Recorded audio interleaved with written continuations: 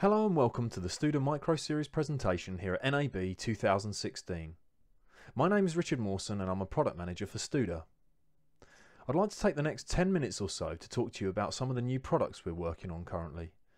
While Harman prides itself on driving innovation, we also value customer feedback, which is why we're previewing this technology here at the show to find out from you, the end user, what your thoughts and suggestions are. With that in mind, we would really value your feedback after the presentation. So what is the Micro Series? The original criteria behind this project was to design a compact, budget-friendly radio console. However, we soon realised that the core technology lends itself to much more than that, as you'll see later in the presentation. The Micro Series consists of three components which you can see on the screen. In the centre we have the microcore.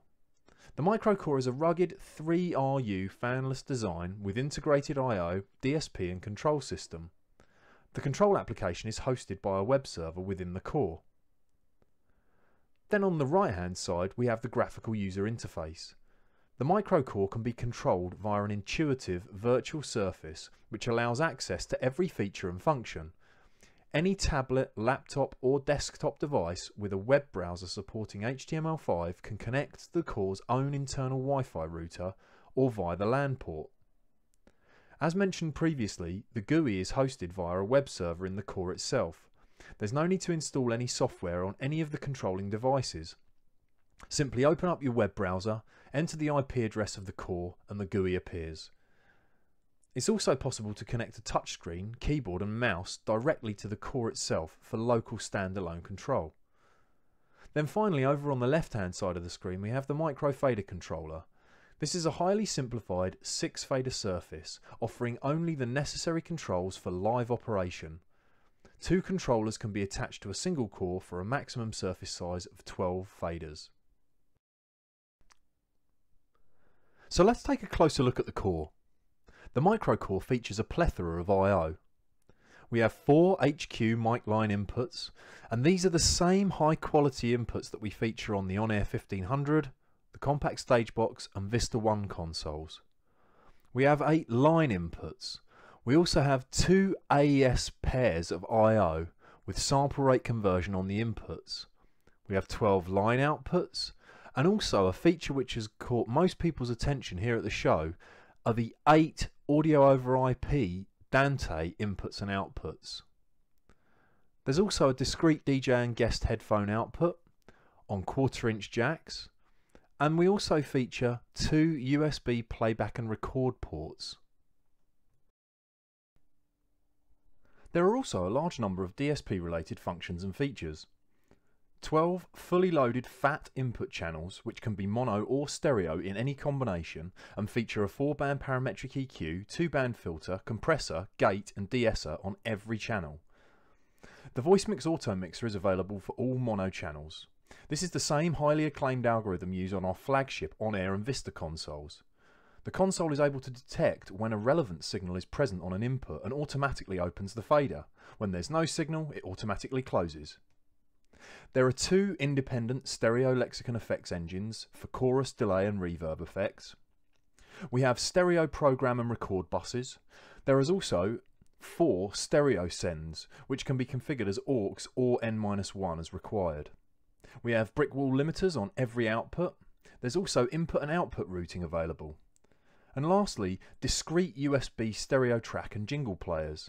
The track player allows the user to create and control simple automation playlists played back from media stored on an external drive. The jingle player allows instant playback of source material from a connected USB device, such as station idents and sound effects. There are also some useful additional connections on the core.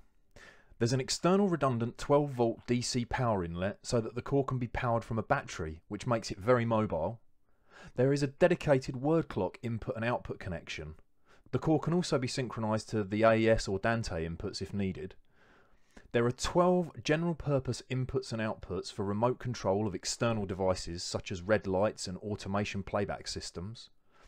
There's USB and HDMI for the connection of a local keyboard, mouse and screen for standalone operation. We've included a local area network connection which can be used as an alternative if the internal Wi-Fi router can't be used for some reason. And lastly, there are two dedicated Power over Ethernet ports for connection to the micro fader modules. So now let's take a look at the micro fader. The micro core is completely controllable from the software GUI. However, the market research we carried out clearly showed that a software-only surface for live-to-air applications would not be acceptable. Live DJs and engineers often feel their way around the surface like a concert pianist plays the piano, navigating by touch while they're talking with a guest or reading a cue or news report. In this respect, the tactile surface is absolutely necessary. That said, while on air, a DJ rarely adjusts any other parameters than fader levels.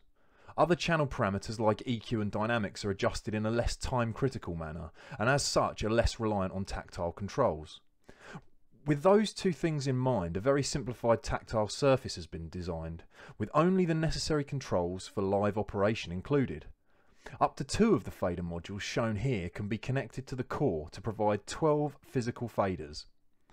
The Surface module features a USB charging port and holder for a tablet device and PoE for control and power. The last part of the Micro Series ecosystem is the graphical user interface. The GUI is divided into three layers. The operation layer, the options layer and the configuration layer. There are user privileges to lock out access to the options and configuration layer. The operation layer shown here only contains the controls needed while on air, following a similar design ethos to the physical surface.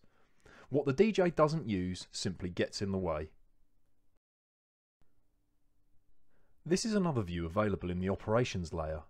Here we can see the internal automation playout system and jingle player on the left, the on-air clock, recorder and snapshot controls in the centre, and the metering and monitoring controls on the right. The options layer provides a very simple overview of each channel, allowing the user to activate or bypass DSP features and configure bus routing. Here you can see the input channel options page. And here we have the output bus options page, which allows the operator to very quickly see what inputs are routed to each bus and change bus routing if needed. It's also possible to see the physical outputs which are associated with each output bus. The configuration layer offers higher level control of the DSP functions providing access via multi-touch interfaces for quick and easy manipulation of parameters like EQ and dynamics using standard touchscreen gestures with intuitive node-based displays. Simply touch and drag the nodes to adjust the DSP parameters. The configuration layer also provides access to the deeper configuration and setup controls. These parameters and controls are not included on the operation layer. Again, only the controls needed for live operation are included on the operation layer. Here you can see the bus config page which allows the user to see in one quick glance all the physical outputs that are available on the core and the internal sources which are patched to them. So now that you're all familiar with the components, functions and features, I'm sure many of you are seeing other potential areas where the micro series would be well suited. We'd be very interested to hear your ideas on this subject. Here are some of the key areas we've identified. On air. As I mentioned at the beginning of the presentation, the Micro Series was initially designed as a budget-friendly compact radio console. I'm sure you'll agree that it has a rich feature set that lends itself perfectly to on-air applications. Production console. A standalone microcore is a perfect solution for production studios. In these environments, a physical surface is not essential, and the microcore can be controlled completely from the graphical user interface. This makes things far more cost effective. Additionally, the voice mix, internal effects and integrated USB recorder mean that the productions can be made with just the core, no need for additional DAWs. Remote broadcast. For remote broadcast situations, the web-based control implementation of the microcore gives great flexibility. All you need is a network connection to the core for full control and a transport medium for your audio which could be taken care of with the integrated audio over IP. Imagine a radio OB where the DJ simply takes his iPad out into the field and has control of the studio console as if he was back at the station. Conversely, the microcore could also be sent out into the field and used as a remote stage box. With the integrated internal mixer, zero latency monitoring mixes could be created and controlled by the engineer on site, while the core could simultaneously be controlled by the operators back in the studio. ENGs and DSNGs. The external DC power inlet and compact, rugged form factor make the microcore a great choice for mobile situations. Having the option to run the core either with physical faders or virtually gives additional flexibility when space is at a premium. Features like voice mix also make the operator's life easier. And lastly, backup console. As the microcore is a fully featured console with a small footprint, it makes it the perfect choice as a backup console. Nobody wants to take up too much space for a console they hope they'll never use. The microcore gives them the features they need to run a show without taking up the space of a traditional console. With the DC power, it's also well suited as a backup console for OBs.